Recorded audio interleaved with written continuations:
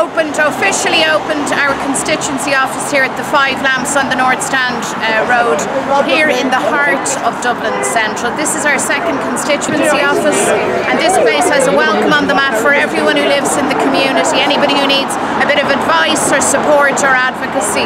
I'm so delighted that our Lord Mayor Mícheál MacDonncha joined us today and of course our friend and colleague Nicky Kehoe cut the ribbon because a So Sinn Féin is active in the inner city amongst the finest communities in, in the city of Dublin across the country serving to the very best of our ability. So don't be a stranger, drop by. Well, we're here today at the grand opening of Mary Lou McDonald's office in the heart of the inner city. It's fantastic that we're back here again. Sinn Féin's presence in the area was very missed and the fact that we're back in, a, in an office that we used to own as far back as uh, I think 1992 if I'm not mistaken.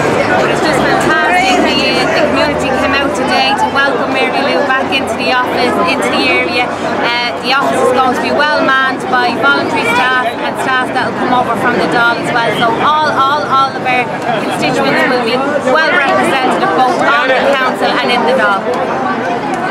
Uh, yeah, I'd just like to welcome Mary back, uh, back to the area. Um, I myself will be doing a clinic also here. It was badly missed. Um, the office will be open time, every day from 10 to 4. So anyone that needs to come up, drop in, you might necessarily get Mary here, but you will get a member of staff, and everyone is always for help.